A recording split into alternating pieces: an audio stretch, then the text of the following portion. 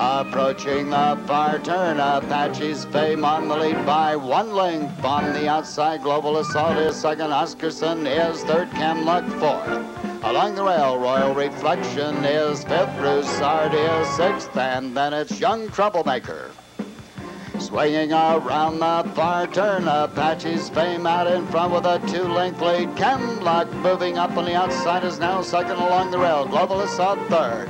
They're in the lane, and here they come. Apache's fame on the outside. Camluck moving up now to challenge for the lead through the stretch. Apache's fame, Camluck, the two of them battling it out through the stretch. It's Apache's fame.